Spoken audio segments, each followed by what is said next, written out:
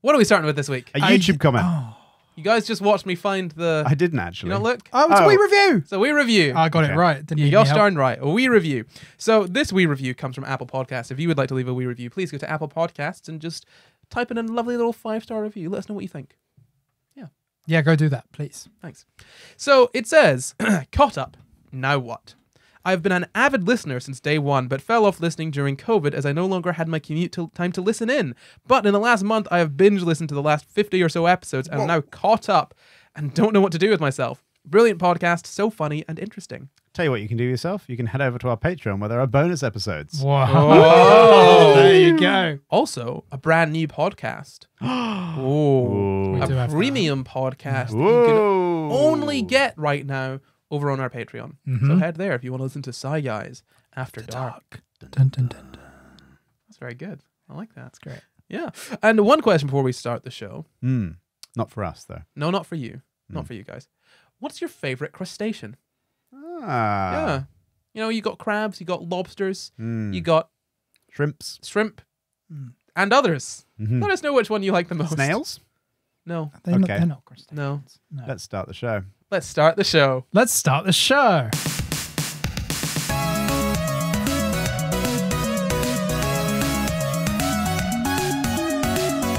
Hello and welcome to the Sci Guys, the show where we talk about the crazy, weird, and wonderful stories from the science world. I'm Corry, and as always, I'm joined here by my co-hosts Jamp and Luke Cutforth. Correct. Hi, welcome back.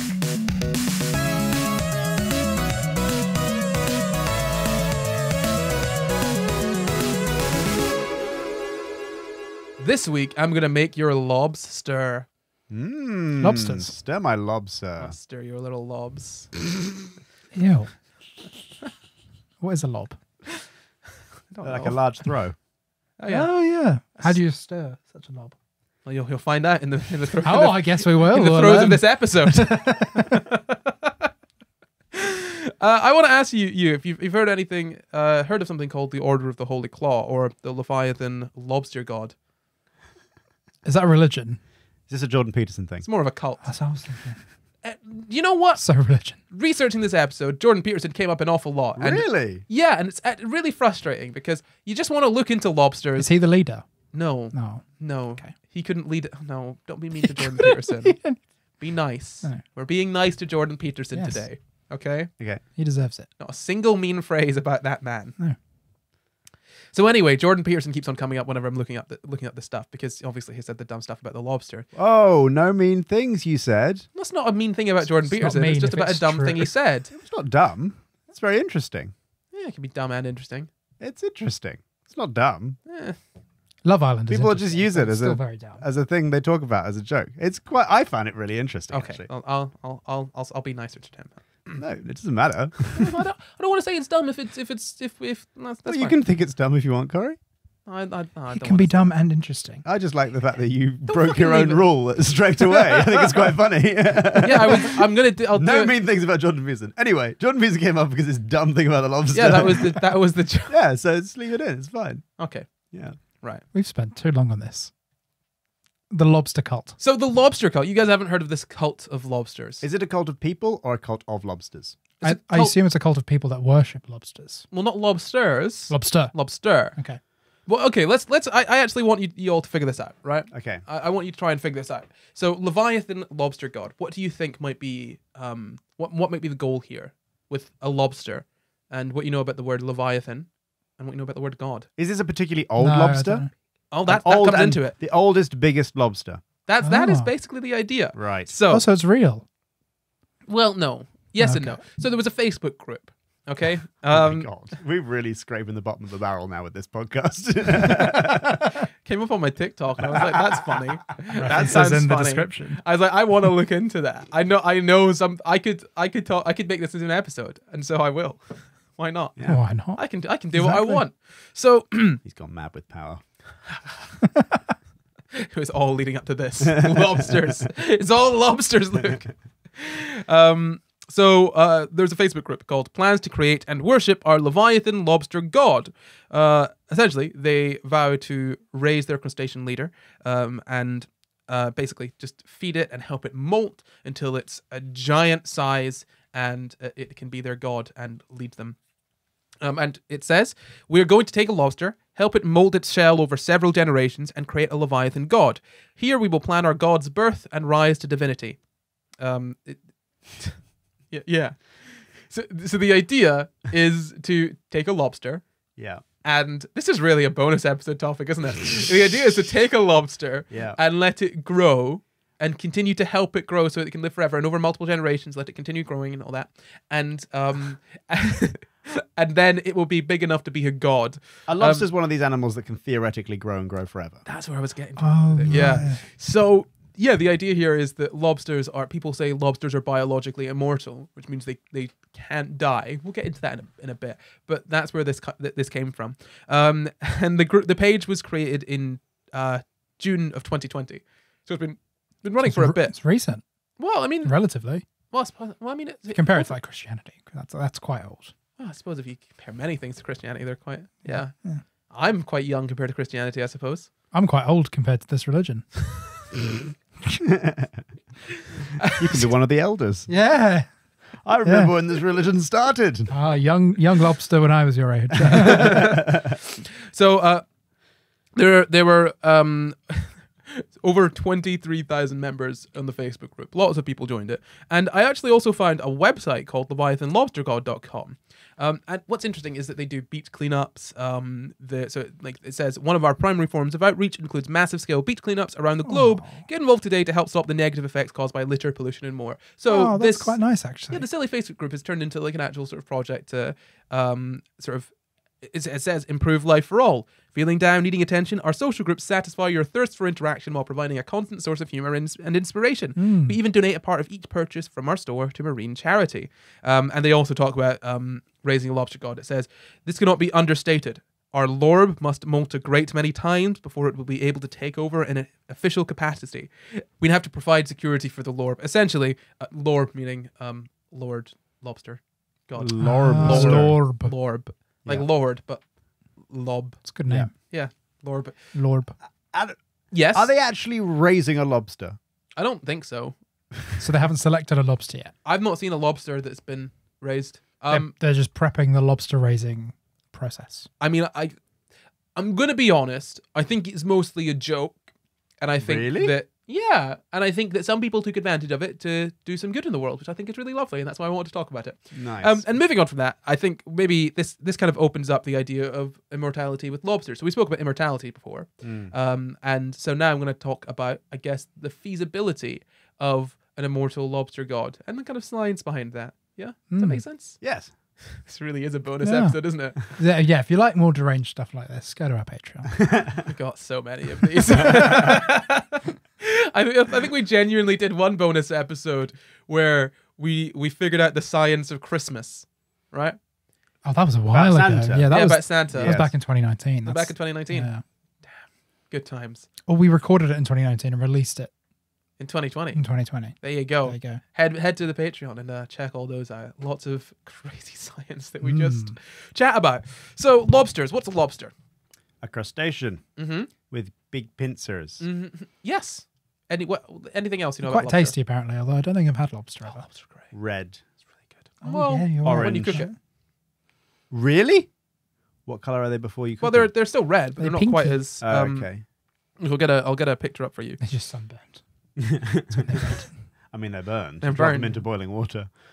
Yeah. So Okay. a, a lobster. They're I mean they're a, a deeper a deeper color than um than you see when they're cooked. Obviously, similar to um shrimp. They're more of a sort of black uh a, a blacky browny color usually. Yeah. Oh, Wow. Yeah. Yeah, Google lobster if you're listening on the podcast. They Yeah. are a lot Looks- darker than you'd expect. Looks like someone shoved it up a chimney. I think I've been misled by the Little Mermaid. That was a crab. Oh. Yeah. Well, then I haven't. no, I've been seriously misled by the little mermaid. Um, I think crabs have um six legs though, don't they? Or they've got six or eight legs. They've got six legs and then the pincers. So yeah, so they've got eight legs, whereas Ah. lobsters are a decapods. They have Ah, Yeah. eight legs plus pincers. yeah, well, ten legs actually. Do the pincers count as legs? yes, they do count as legs. The pincers are legs. So uh, uh, so what? What's the difference between a leg and an arm? Why aren't they arms? there's not much difference between a leg and an arm. Well, that's Well, my tell, point. It, tell it to us. So he's got eight legs and two arms. I've No. got four legs. some of which I can grab with. You've got four limbs. Okay. They've yeah. Got, they've their, their pincers are legs. Why are they legs? Why They're- are they not arms? They can grab with them. Yeah. we could just call them limbs. But seriously, why are they legs and not arms? Because it's just how we. It's just what we call them. They're just legs. So we should think of them as limbs, but we call them legs. Yeah. Sure. Okay. Yeah. I don't like that. But oh, well, Weird uh, rule. so You can't grab stuff with legs Yeah, unless you you, use can. both legs at the same Oh, time. you can I absolutely grabbed grab something something with legs. earlier. I dropped it on the floor. Sure, but not in like layman discussions. No, stop trying to grab me. Corry's trying to grab me with his I've legs. grabbed your trousers. Yeah, good you, for you. You guys do this anyway. Give me You your grab yourself. trousers. Give them to me. I'm pulling them with my toes. All right. Well, sure, you've proved your point.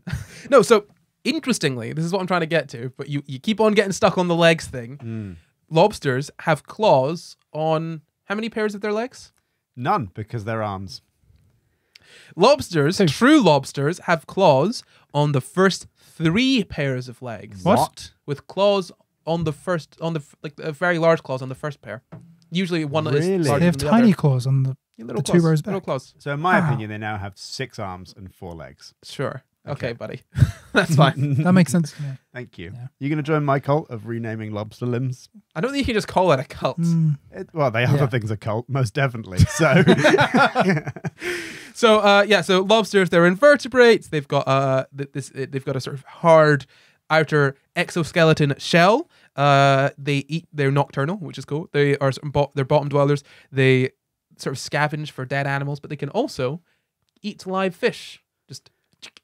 Just and you know put them in Yummy. their little mouths. Just Hmm. grab and have a snack. Yeah. Um. Um. Obviously, we eat some of them as well. Um. And they've got sort of a segmented body. Uh. Like I said, five pairs of legs, so ten legs total. Um. And. Uh. Yeah. So it, usually, it- like it's one or more. Like, I mean, it's really it's one or more pairs of those legs are are modified into pincers. Mm. Um. As I said, true lobsters have three sets of pincers, but two large pincers at the front.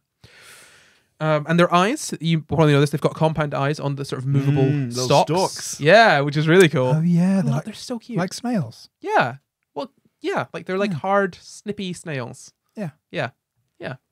Um, and they've got um long antenna, um, legs at the back, which are for sort of swimming, and then like a sort of long abdomen with that sort of like sort of tail as well. You know, the sort of lobster tail. Yeah, like a big oh fin. yeah. Um, and so they flex the tail um to sort of uh they they they flex the tail to sort of swim. It's kind of like a flipper. So they can do Yeah, that as well. Like yeah. a mermaid. yeah. I was going to say like a The dolphin. Beautiful lobster mermaid. mermaids. Yeah. Merlob. I know. What came Lob first, the lobster or the man? oh, lobsters are actually very caring lovers, so probably the mermaid. Um, Mm. Yeah.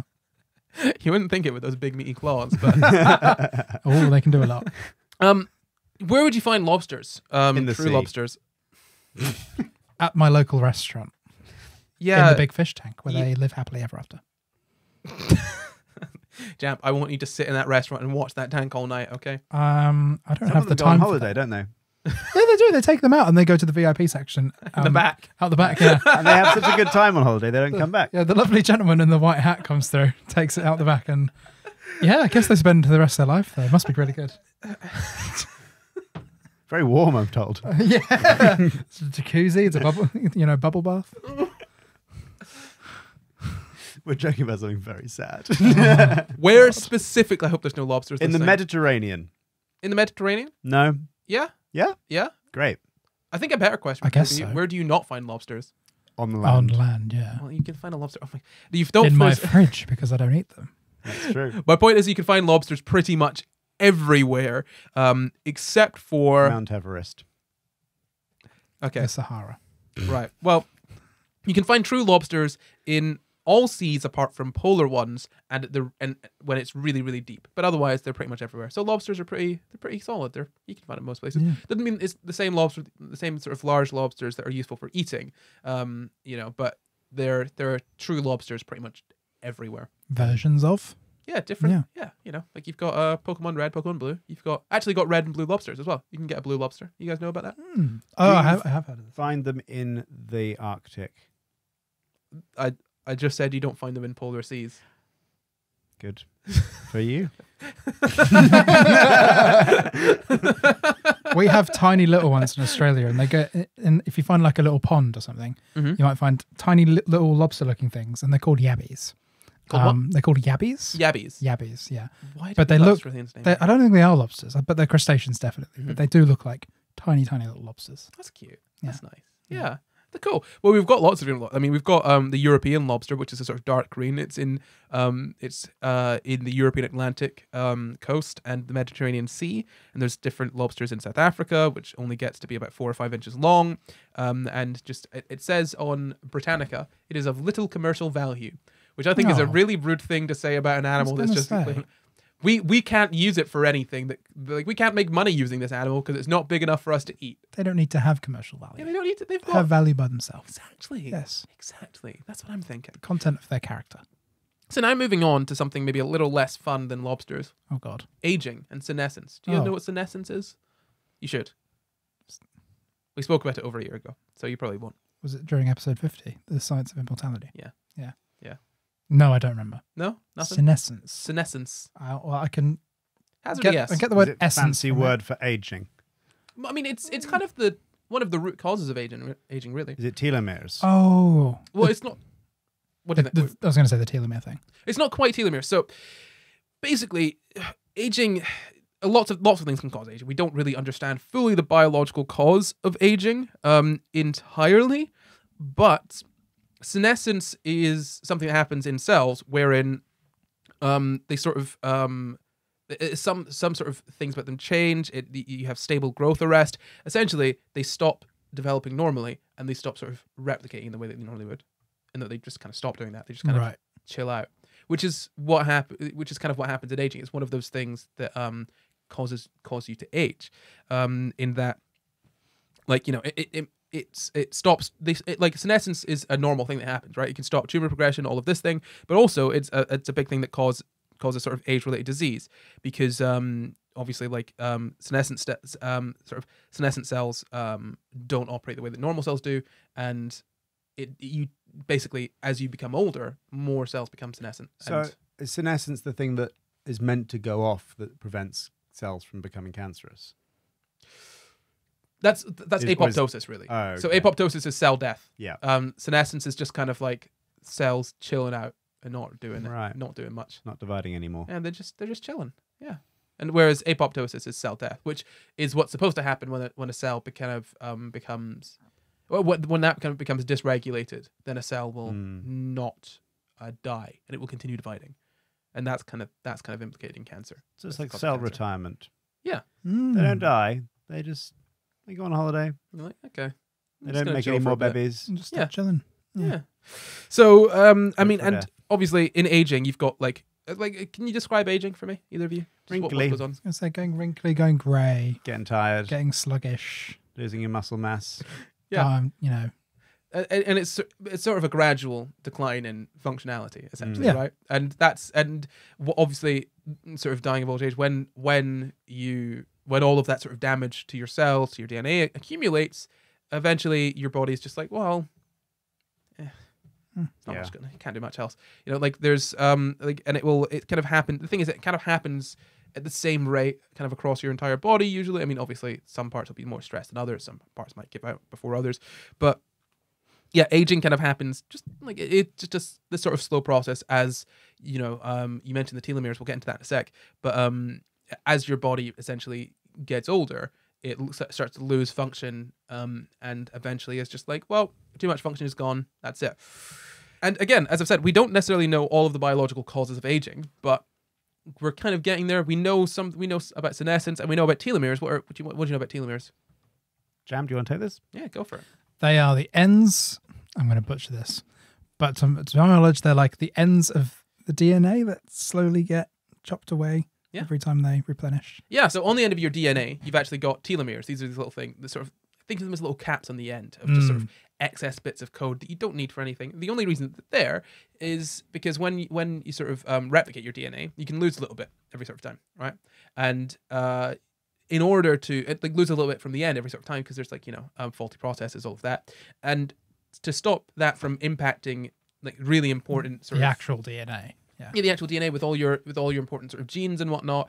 You've got these bits on the end called telomeres, and if you so as you age, your telomeres will shorten and shorten and shorten over like countless divisions um, and like sort of replications of your DNA. And it gets to a point where once, once the telomeres are gone, it's like, oh no, no, now my genes are starting to be affected. Oh dear. Yeah, and that's implicated in a lot of um, age-related diseases. Um, uh, and it's also like you know, it's one of the. I mean, and you know, aging is a massive risk factor for cancer, cardiovascular disease, diabetes, neurodegenerative disorders. Um, and I mean, the sort of um, the sort of shortening of the telomeres is one reason that that um, is one reason that, that happens. Essentially, because your DNA just gets all jacked up Yeah. as you get older.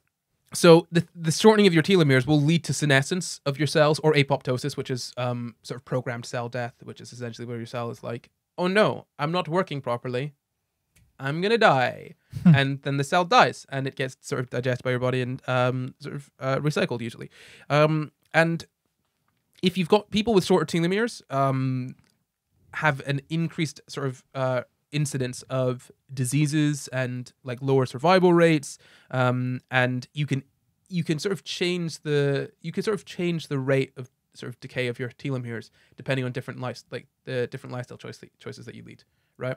Like so i mean obviously like um, if you're out drinking alcohol doing drugs and smoking and i don't know um, eating fat, processed fatty foods um, and playing American football without exercising, then wait no, playing American football you'll be fine.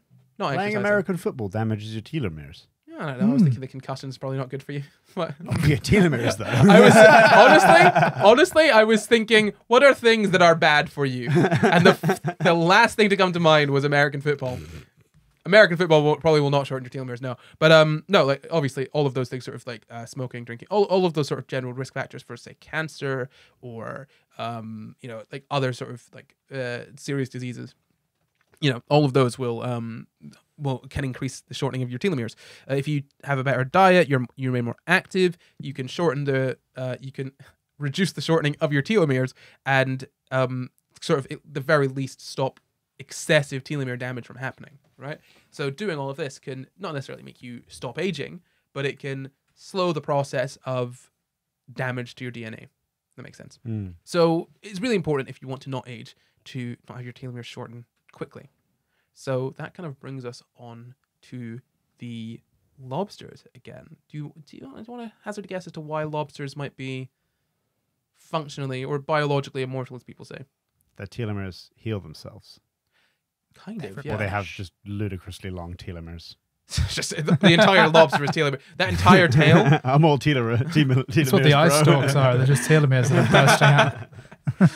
yeah, no. So um, basically, because lobsters don't go through senescence, right? Their cells don't ever stop sort of acting normally. They Mm. just continue to act normally, and it's because they constantly are repairing their DNA. They've got something called telomerase.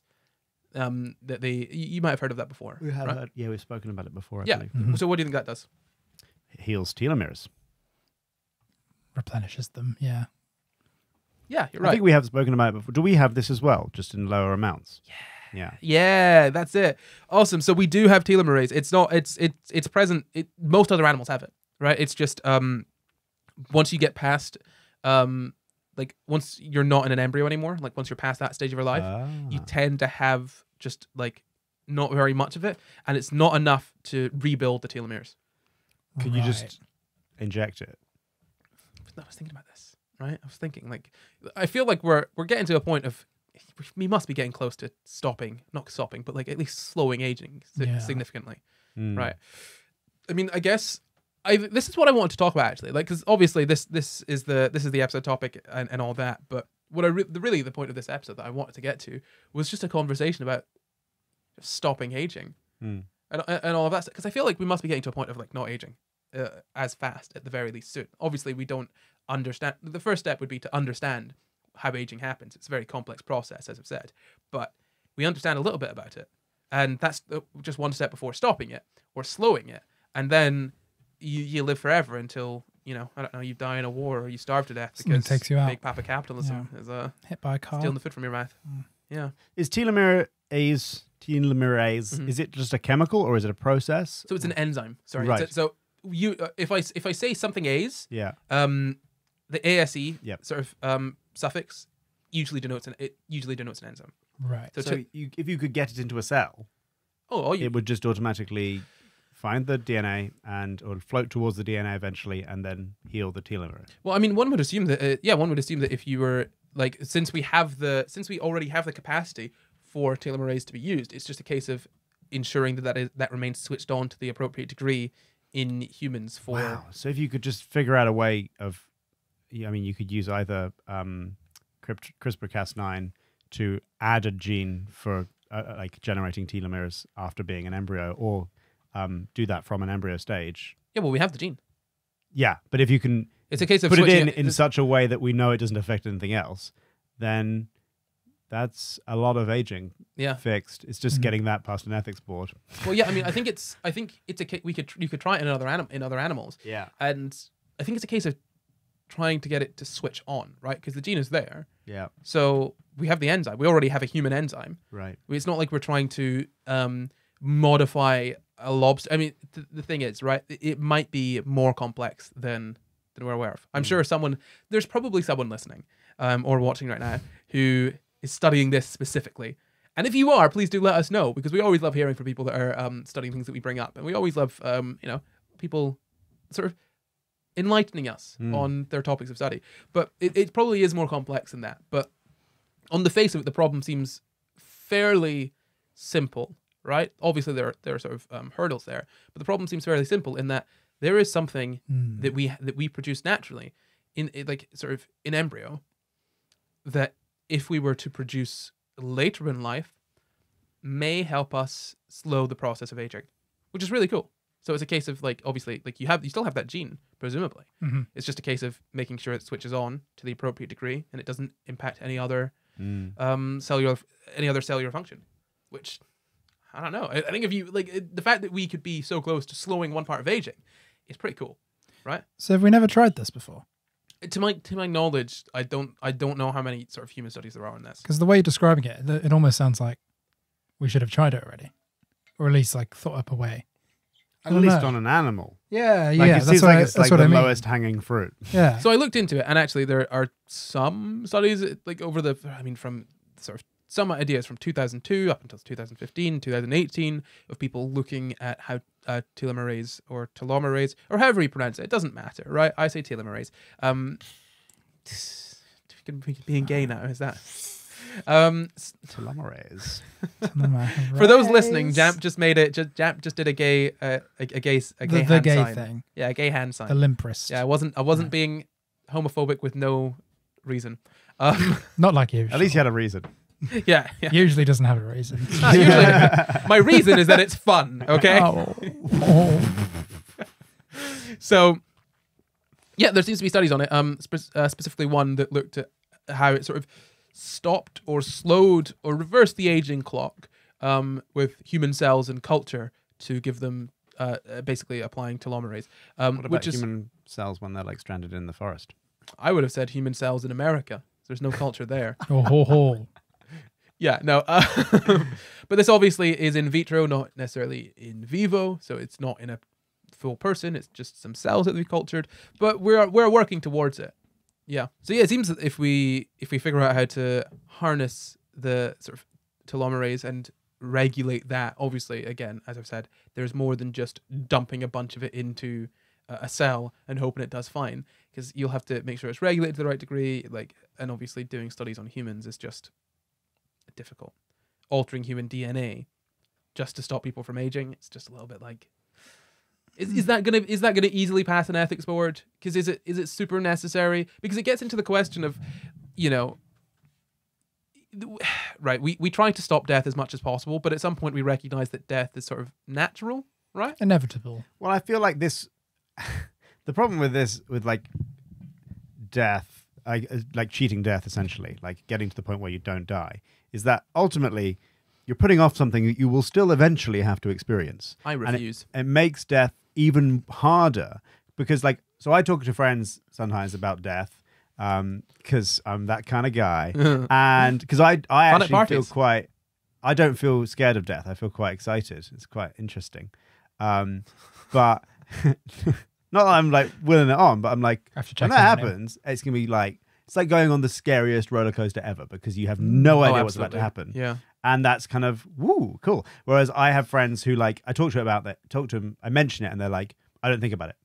I'm like, but you know that you will have to Mm. eventually think about it. You're just putting off something that you will eventually have to think about. And the thing is about like it makes death even more sad because when someone dies, it's obviously horrible, but you know they weren't going to live forever anyway. But if everyone's living forever, it's going to be so much harder when someone doesn't, and so much harder when you then have to, I if you have to, because you I- might just get hit by a truck or something. Well, yeah, obviously. I mean, I think if you do that, then safety is going to go through. I think the world would change drastically if people were able to live forever. Because yeah, true. I mean, obviously, I people would eat the rich. I think, Gen- like, Literally. would literally eat them. Um, no, like, but genuinely, like, if, imagine if you could live forever. Forever, you could just continue accumulating sort of wealth. I mean, it was in the film In Time. Forever, Did you yeah. guys see the film In Time? No, Justin. Uh, The one with Justin Timberlake. Timberlake. Yeah, Justin Timberlake. I saw the trailer. No. It's a great concept.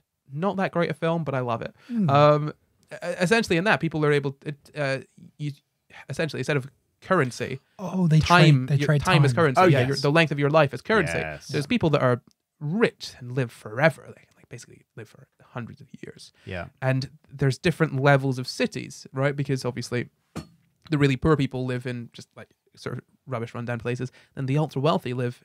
Basically, it's our world right now, but um, it's all about time on your wrist rather than um, than actually having actual actual money. And this is the thing; it, it would end up being that initially, what would probably happen is only the rich would live forever, Mm. and so they would continue to to gain wealth. And then would that really trickle down to everyone being able to live forever? Would they want to allow it? Because at that at some point, you'd have to think, well, we're not overpopulation is not an issue now, right? It's not. Anyone that says that overpopulation is an issue, is an issue hasn't looked into it enough because the world isn't overpopulated. There's a poor distribution of the resources, right? Um, and again, overpopulation is generally something that is it's just racism wearing a different hat.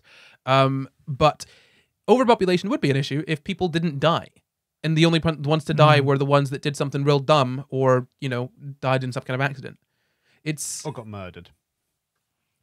I would say that's dying in some kind of accident, Mm. an intentional accident.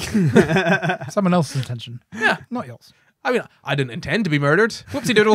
Oops. oh, won't do that again. Yeah. you probably won't. And- Well, unless you're Rasputin, in which case happened a few times. Um, no, yeah, I, I think that it's it, it. The world would fundamentally change if we weren't. Uh, if we were no longer trying to stave off uh, death. But- yeah, I mean, you just said you'd introduce some kind of eventual wealth tax because the whole thing about like what you're describing, where like resources are collected into one person or family, Mm. would be the case if not for inheritance tax. Like it would just be the case um, that rich families get rich forever. Um, if in the same way that it would be for an immortal person, if you could just pass down your money without any taxes whatsoever. Um, like because the, the the entity still survives across Mhm. multiple families. Um, so you just have a situation where like you'd have to replace inheritance tax with some form of tax on like being alive for a very long time or like wealth. So your wealth would be taxed rather than your income being taxed. Yeah. The world that we have now is just not set up to deal with that, right? It- I- I- Everything would really have to change, and even having children, right? You wouldn't be able to have children. You have to have, you'd have to have limits on children, or send them off to other planets. Or realistically, I think if we do have people, oh my god, if we have people able to live for an ex- like an incredibly long time, you could just send people off to other planets. Yep. You wouldn't need Oh, true. stasis. Yeah. You could just have people live as On long a- as you're able to have enough a ship, resources or yeah. re- recycle them. Or you can have them live on a ship. Yeah. Cool. It's cool, right? So if you want to have a baby, cool. you have to change planets first. You set up a colony. Yeah, that is that is that is that is pretty cool though. Yeah. Or I mean, you. c- I mean, it would end up probably being the wealthy could have have kids on this planet, and then you just send They them can away. have their own planet. yeah. Yeah. Oh, that's cool. That is that. Like, I, I- I really like the idea of seeing what would happen to human society. Although I don't know how the human mind would deal with being able to live for a long time. You'd forget stuff. You'd you'd go nuts, Probably, right? yeah. You'd go. You'd have to go something. Well, you just have to figure out those problems as well. Yeah, I suppose. And I mean, I guess as well, what what's interesting to me is that I think that once sort of biological if biological immortality or biological like incredibly long life you know like extending life by Mm. decades were to happen and we were to push that forward um, let's say it was possible i mean conceivably it is possible in other animals so th- there it could be it could be possible in humans potentially um, we could work on those problems we didn't think that transplants were possible you know and now they are so Mm. many things have, have moved forward but i think one main thing that is kind of macabre that would need to be brought in if we did extend life sort of um not not even just sort of uh forever conceivably but just for a longer time you'd need to be you'd need to allow people to die if they wanted to you know Mm. Yes. i mean people above you could probably have to limit it to being people above a certain age but you would have to let people die if they But wanted to. But you would surely. Oh wait, no, because you're potentially modifying the genome to make telomerase. So it's not even like you could just stop taking your telomerase injections if your body is now producing it. Mhm. Um, you have to. You have to have the option of dying. Yeah. Which I feel like ultimately everyone would pick eventually, because you would eventually experience all the things Mm, enough times um, and become tired of defending this sort of fleshy suit that you have to defend, or at least defending your fleshy brain or whatever whatever it is that makes you you. mm. Eventually, you would go, okay, what's the next adventure? And the next adventure would be that's what happens when you die. Yeah, yeah. I think. I mean, gosh. I mean, just uh, the the number of things we could do with an extended human life, right? The the number of things that we could study, the number of Mhm. things that we could achieve. I don't know. I just feel like. I feel like wars would probably end. Not necessarily, but I feel like it'd be you'd be less okay. If you have the potential of a longer life, you have more on at stake, right? More to risk. You'd be less inclined to sort of cut that short. Do you know what I mean? Does that make sense? Sorry, say that again. Right. I, I feel like I feel like you people would be less inclined to go to war or to put themselves in a position where they are more likely to die because if that was the only thing that could lead to your death. yeah, that's the only thing that could lead to your death. And you're gambling. You're, you've got more of your gambling for because it's okay. Let's say you're 20, right, or you're 30, or you're 40. If you're 40, you're like, oh well, my life is like half over, right? Yeah. you're not you're not losing as much. Obviously, no one wants to. Most people don't want to die, right? But if you're 40 and you're only going to live to 80, halfway through your life, if you're 40 and you can live to 200 or 300 or 500, you're like, no, I'm not doing that. Yeah. You know what I mean? Yeah. And I, I feel like it'd be a much harder sell, like sending people off to war when it's like they could live they could live forever. Why are you sending them Mm. off to war and letting them die at the age? It, it would be. I think it'd be a much harder sell. Do you know what I mean? Absolutely. Not to say that it's not a hard sell now, but um, yeah, I just think a lot of things. I think a lot of things would change, even if we extended life by even fifty years. You know? Well, you'd hope that more people who operate in the world would be wise if they've lived for a, a bunch of time. Like you, you, you got to hope that at, at least there is a not a causation, but a correlation between length of time on Earth and wisdom. More, not pe- more for people have more everybody. experiences. Yeah, not for everybody, but you lived through more ages. You've lived through more change, um, and you'd hope that some of that would crystallize into a certain level of wisdom. I think there are two lines it could go down. Really, I think the first is well, which one do you want first? Optimistic, optimistic, or pessimistic? Pessimistic first. Pessimistic first. Yeah. Okay. So, if I'm being entirely pessimistic, I think that people don't accumulate evidence to sort of refute their own beliefs. They accumulate evidence to confirm their own beliefs, sort of the conf- confirmation bias. They will Mm. ignore things that disagree with what they think sort of already believe. Um, it's very hard to get people to change their mind. It's very hard to get old people to change their mind, as as we're all aware. Like if you've if you've spent 80 years of your life believing something, it's very hard to stop believing that. Yeah, you have to admit to yourself that you've been wrong for Exactly. how many decades? I think we'll figure that out as well, though. We'll figure out reckon? plasticity of mind. I mean, ideally. Yeah. Yeah. So there's there's that, right? There's there's the, the the the fact that people are stubborn and difficult to deal with at the best of times and if you've got people living to over 100, 200, Yeah. it, things that are entrenched be okay because social progress happens, right? Because people say I don't like how this is now. I will now educate the gonna- next generation. Yeah, and Yeah. the next generation pushes forward a little bit more and pushes forward a little bit more and a little bit more and a little bit more a little bit more. But over the course of one person's life, I think it'd probably be harder to get them to continue to push forward because They'll be like, "Oh, well, that's not how it was back in my day." Oh, well, things seem to be fine now. Back in my day when I was 90. Yeah, right. so I think you might see a stalling of cer- of progress in certain areas. yeah. Um, because you just have an increased population of people who are just like, no, I don't care. But if I'm gonna if I'm gonna not be pessimistic, not be a doomer about it, positivity here. I think that potentially, if you if you live longer, you can have more experiences, and we know that experiencing people of different cultures, experiencing different pe- people different to yourself, tends to lead you to being less bigoted, right? Mm, mm. so there could be there could be that aspect as well right that if you live long enough you can accumulate enough experiences that you we kind of wipe out bigotry just through people being like oh well what's the point Mm. you know Well, and also like we did that. Um, I think it was a clip about consciousness Mm. and consciousness. The the one theory of consciousness being like uh, consciousness arises from interdependent independent interdependent systems. So like if uh, some aspect of your the back of your brain is um, the output of like one section of your brain is changed by the output of another section of your brain, they may as well basically become one conscious system together, right? So um, if if you have like if if you're something happens in your say to be simplistic your right hemisphere and it has literally no effect at all on your left hemisphere, then there's no reason for those two things to work together. Um, and they might not become one conscious system. But if something happens on the right side of your hemisphere and it affects the output on the left side of your hemisphere or the back of your hemisphere or on, in your stomach or in your leg or whatever, then those things may as well and do act as a conscious single entity, Mhm. which is the that's the theory, right? Um, and so as we become more interconnected, as we because what we're doing with like the internet and what we did with like mail um, and transport and all those things is we're essentially um, creating causal systems that link together different people where like m- suddenly my the output i give has a causal effect on some person Mm. around the world right now i am creating sounds with my voice box that are creating brain signals in people's minds around the world right who are listening to this podcast and that is causality right causality is happening in a way that i can't even comprehend Mm. and so, as we then eventually have brain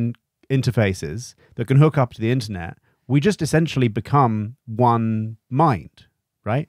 Um, across time. So, like, there's this theory which is like um, the Christian God is a piece of software, uh, and the Christian God is essentially a self. If you imagine you aren't really one thing, Mhm. you are a bunch of cells working together, and they basically run this piece of software called Corry or called Jamp or called Luke that allows them to work together, even though they are separate biological entities, right? And that means that they have to work together because the, that is the best chance they have for survival. Um, well, the, the one idea is that God is essentially a self that is spanning across multiple brains. So if you have this software called God, and I have this software called God, and Jamp has this software called God, and we all have roughly the same God, then we can cooperate because we both have the same system of ethics, we both have the same beliefs about the universe, etc. And that God guides all of our um, actions and movements in a similar way, so we can roughly work together. And that is, is a self spanning multiple brains in the same way that Bitcoin is a piece of software that's running across multiple computers, and the Bitcoin Mm. network exists across multiple computers. Eventually, we could get to the point where humanity has a self because of the causal links created between us by brain computer interfaces and the internet, and the the outputs of one human affecting the outputs of every other human.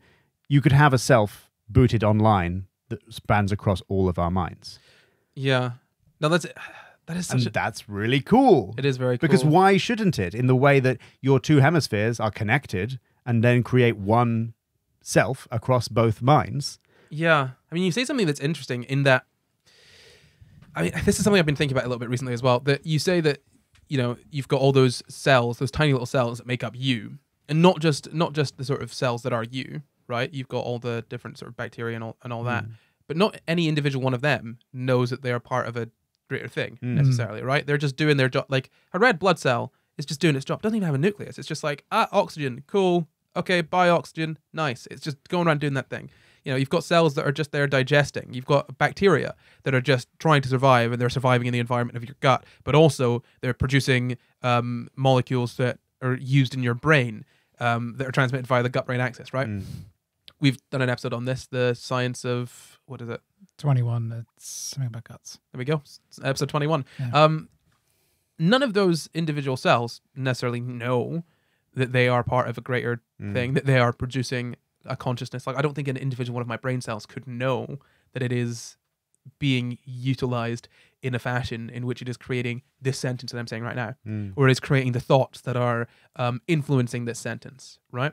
I don't think a single one of them will know that. So it's interesting that we all like to think of ourselves as being very separate entities, when ultimately, if we looked at it, the very, the most basic point of it, we are essentially just um, chemicals that are uh, chemical reactions that are continuing themselves. Their their goal is just to continue themselves indefinitely, right? At the at the very basic level, that is what life is. Mm. It's interesting to me that we we think of ourselves as such separate. Uh, outside of outside of the sort of um, that's not this that's not the specific re- that's not the specific definition. Well, I was But- just going to say that they're not. They're not. I know you know this, Mhm. but they're not chemicals whose goal is to continue themselves. They are structures that, by the laws of nature, they are continued. Continuing happens. The, I'm saying the chemical reactions continue themselves, not the chemicals. The, the chemical reactions continue themselves. You are a, you are a, a collection of chemical reactions. Yes, sure. And- so they like loop. They're a causal Yeah. loop. Yeah. Yeah. Yeah. it's basically self-sustaining chemical reactions Yeah. that uh, exist sort of outside of sort of uh, what's it sort of not homeostasis. Um, the word for balanced. Um, when it's something is equilibrium. Yeah. Equilibrium. Mm. Yeah. Yeah, outside of that sort of equilibrium, it's it it um they they exist outside of that sort of chemical equilibrium, but they rep- they replicate and continue themselves. Mm. But we think of ourselves as being all very separate things. Mhm. But then equally in that, like I said, a single cell of my body doesn't know that it's part of the greater whole necessarily. We why would we think we of might ourselves already be as, that, and we yeah. wouldn't know. why would you think of ourselves as being a part of a greater whole when we we don't know? There Yeah. there and when you think about it, there is some kind of consciousness that comes from a group of people. Like a country can do we talk about countries doing things. Obviously that's a facet of our language, but we talk about countries doing things, we talk about cities doing things. And yeah, often it can come down to the sort of choices of an individual, but that individual in many places is nominated by the, the country, Mhm. right? Yeah. By multiple people. Multiple people can act as a single sort of consciousness in a sense, right? Yeah. It's just it's interesting that we don't it's weird that we don't think about it like that. We all like we like to think of ourselves as being very individual and very unique and very separate from the rest of the world. But It's because of our economic system has taught us to be like that. Mm. Well, sure. I mean, I mean, I think even in even in um even in other economic systems, we'd still think of ourselves as being separate from the world, not like and separate from other people. I don't think I don't mean separate in terms of like better than or different than. I just mean separate as in like there was a separation between me Your skin and everything else. Yeah, like your ego. Yeah. Yeah. Yeah. Hmm. Yeah. Maybe if we live forever, we could get off of that that idea. Yeah, but, but I mean, Mm. the thing is, is that there are there are reports of people who transcend that. Really. Um, there are po- reports where um, you essentially undergo a process whereby you be- you gain subjective awareness of the fact that that's not true and it is an illusion. Um, yeah, in, in ego death, yeah, Hmm. where where it's not just that you um, decide or decide to act in a way that is sort of altruistic. It's where you gain the subjective realization that the whole time you thought that was going on, it was an illusion. Mm. Um, in I guess I mean I'm I don't know what this is. I haven't had this experience, but like I suppose in the same way that like um, on a bigger level, like when we look at history and we go, this person discovered this thing, and that like ignores the fact that there were loads of people who were also instrumental in that. There's loads of people who um, contributed to that before that person. There are loads of um, happenstances that happened that like, sup- although it probably didn't happen, an apple fell on Newton's head. Like all those kind of things. Mhm. Like that knowledge was there to be discovered. Someone happened to discover it at a certain time. Had they not, someone else would have discovered it. And lots of other discoveries done by other people led to that discovery. Mhm. So our want as human beings to create simplistic stories out of the world um, leads to our way of talking about things, but that might not be really how those things are happening. We're just sort of surfing this little wave of happenings. Yeah, I think I think what you're kind of touching on there is the fact that our the way that our language bleeds into our understanding or influences or really just creates our understanding of the world, right? Mm. And limited language creates limited understanding and that is not necessarily fine, but it, it is workable if you can if you can sort of pull yourself out of that and realize the language that we use is limited. And since our understanding often comes from language or it, it is explained itself in language, then our understanding will be limited. And then mm-hmm. if you pull yourself out of that a bit, you can at least recognize that. But I feel like a lot of people generally don't. well, we're not No. taught to, No, of It's no, an easy thing not to of their, teach yeah, no, absolutely not of their own. but we're not taught to. Yeah, no, not of their own accord. I mean, like, Yeah. as in, it's it's definitely something that should be taught. But it, I, Yeah. I just, I think the issue is that there doesn't seem to be much benefit to society of people, um, thinking that. Do you know what I mean? I think that's a wonderful benefit to society to not thinking that, but not if your goal is to um, sort of amass resources and reproduce and spread across the galaxy. Yeah, Yeah. yeah, that's what if I your mean. goal is to be happy, there's quite a lot of benefit to it. Happy doesn't make me money, Luke. Um, um, so let's get back to lobsters. So we were talking about lobsters being immortal, um, and the thing is that yeah, they can repair their DNA, uh, but they're not. And when we say they're biologically immortal, that doesn't mean that you'll see a lobster living forever.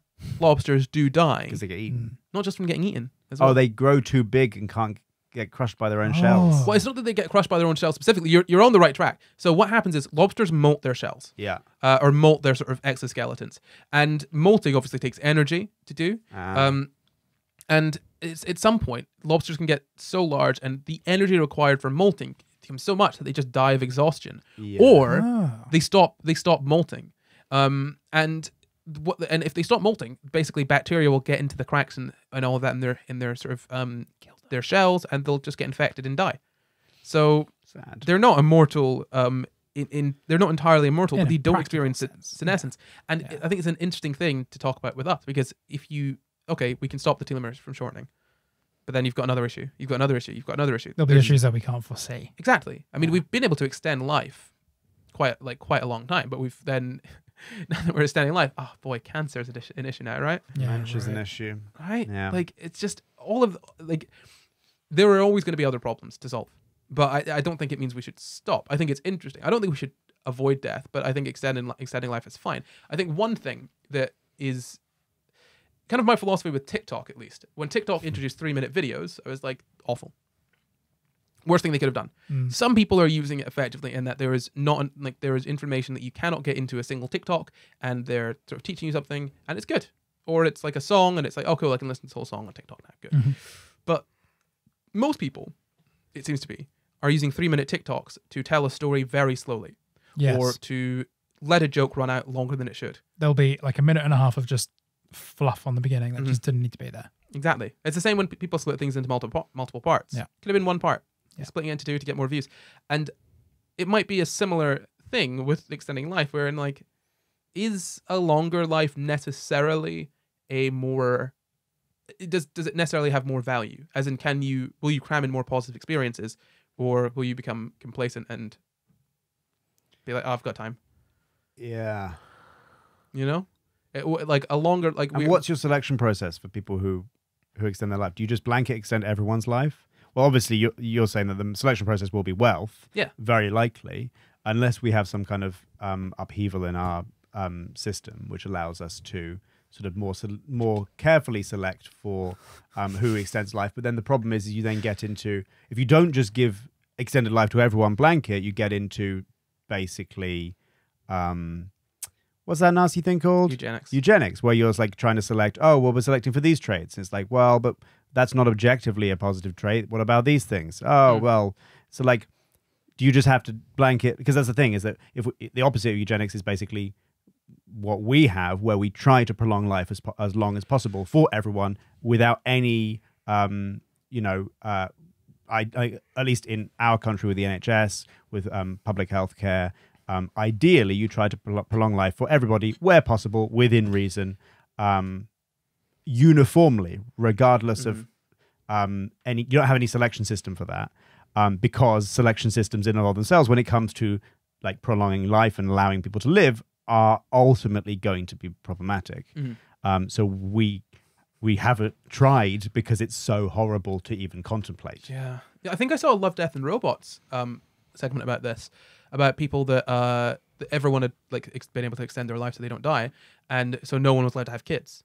And I think, I mean, the choice that you've got there, and this is probably an interesting thing for a sci-fi story, is that you've got the choice between living forever or having kids. Which one do you want to do? That's really interesting. So you're allowed a certain number of you're allowed to create a certain number of years, and Mm. it's like either you create three lives that are 80 years long, or you create one life that is 100 or 240 years long. Yeah, or you could be like, okay, well, I'm gonna live forever. Uh, I'm gonna live until 200 because you'd probably remain looking fairly young. I'm gonna live till Mhm. 200, and I'm gonna be like, okay, well, I'll have kids now, and I'll know. Then you know that when you have kids, you wait until they're maybe like a certain age, and then you pop off. Cool. You're only allowed to have two kids between you know uh, Two people. Two people. Yeah. Yeah. Right. But who enforces that? it's such a weird thing to enforce. Government comes down and they uh, you know, they kill you. Yeah. For having kids. Well, That is you- essentially what they do. well, they don't kill you for having kids. You stop getting your. You only get. You, stop getting your. I don't know your telomerase injections or whatever. Because You you had kids. Yeah, because you had kids. But that is And then you get okay. Willing, willful, willful execution. Yeah, sure. Yeah. Yeah. No, I'm, I'm just I'm not saying that should happen or whatever. I'm not saying it will. I'm just saying it's an interesting it's an interesting uh, line to go down. But yeah, so uh, bring it back to the lobsters again. As I said, lobsters can't actually live forever uh, because while they don't experience senescence, well, uh, they do continue growing, and that means they need to shed their exoskeletons. But it gets to a certain point where that takes up too much energy, and they end up just dying of exhaustion. Or some really old lobsters will stop shedding, and they'll end up dying from infection or something like that. Um, and this is the issue as well. We don't know how old lobsters are. We can't. It's difficult to tell how old Mm. lobsters are. We think the oldest one might be, uh, well, I think the average is about 31 years, and average for females is uh 54.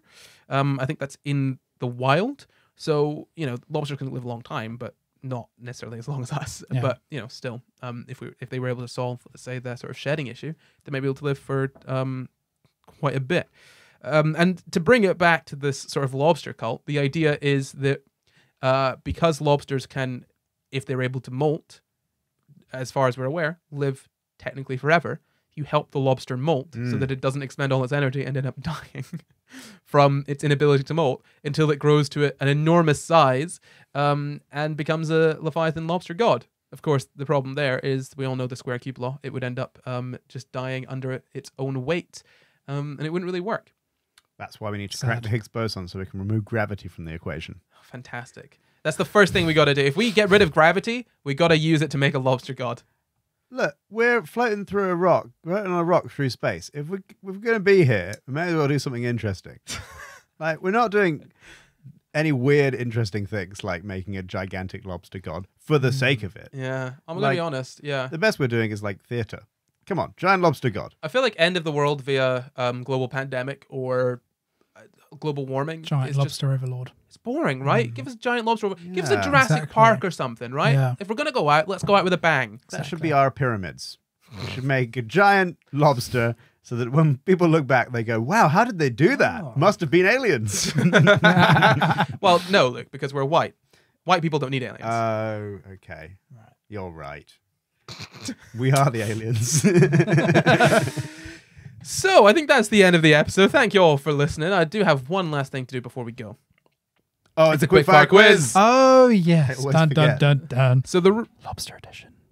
So the rules of quick fire quiz is very simple. I ask one question between the two of you, just one question. The first person to buzz in with the correct answer after I finish asking the question wins. What do they win, Jamp? Nothing. That's gosh darn right. Free lobster dinner. Luke, what's your buzzer? Little lobster Yeah. pincers. Jamp, what's Should've your asked- buzzer? Mine was going to be like. Get your own buzzer. That's perfectly fine. Both of those are good. Are they distinct enough? Because Okay. mine's are like. Yours is a higher frequency. I- Yeah. I'm sitting in front of you both. I can see you. Oh, okay, fine. Listeners, you're What are screwed. The listeners at home. So, my question for you is How many pairs of legs do true lobsters have pincers on? I think Jamp made the noise first. No way. That's definitely not You started true. snapping your fingers first. That is the noise. That's the noise. It also comes along with the. no, I didn't do that when I gave you my noise. All right, You Carl, did, go on you then, did, Jamp. you Oh, did, what- actually. Nope. Um, s- six limbs. Oh, Wait, Huh? what was? incorrect. What pincers on? Oh, pincers. oh shit. Wait, hold on. What did you say? Six. Yeah, that is right. That's right. Yeah, Yeah. six. I was asking. I was trying to think whether I whether I asked pairs or not. Don't- The Yeah. whole debacle Right. about the about Right. the He is right. the buzzer. You win. You win, Jamp. Well done. Thank you. Good job. Don't scare me. I'm Such furious. a sore Don't loser. scare I'm me going to like pinch that. you with my pincers. Okay, go for it. Give me one now. Ow, ow. Why did you make that hurt? Okay. Because they're pincers. That's the point of pincers. They're not not playing around. Okay, so that is it for this week's episode. Before we go, we would like to thank all of our patrons with a very special thank you to executive producers Ashley Miller and Finn TZ. And also, thank you for watching. You can find the full references for this episode in the description. Subscribe for new episodes every Sunday, and why not leave us a nice wee comment? You can support the pod at patreon.com forward slash SciGuys, or you can find and contact us at SciGuysPod on Twitter, Facebook, and Instagram, or you can send us an email at SciGuysPod at gmail.com. Oh, that's sanghusband at gmail.com. Oh, that's uh, guys pod. At gmail.com. You can follow me at Not Corry everywhere. You can follow me at Jampkin everywhere. You can follow me at Luke Cutforth everywhere. Goodbye. Snip, Bye. snip, snip, snip. Bye bye bye.